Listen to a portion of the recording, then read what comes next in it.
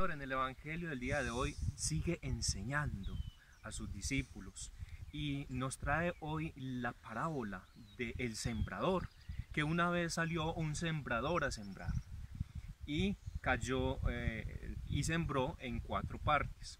Una parte cayó en el camino, otra parte cayó en terreno pedregoso, otra parte cayó entre espinos y abrojos y otra parte cayó en tierra buena.